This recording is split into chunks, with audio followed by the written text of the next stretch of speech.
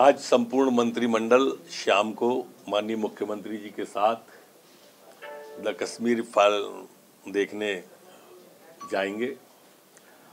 और मेरी प्रार्थना माननीय कमलनाथ जी से भी है कि वो भी सबके साथ, अपने विधायकों के साथ पधारें और पिक्चर को देखें कि वास्तविकता क्या है। वास्तविकता से साक्षात्कार करें, सत्य से साक्षात्कार करें। नहीं मैं हर साल वैष्णो देवी जाता हूँ तो मैं कश्मीरियों के साथ में जम्मू में जाकर वो पिक्चर को देखूँगा कश्मीर में।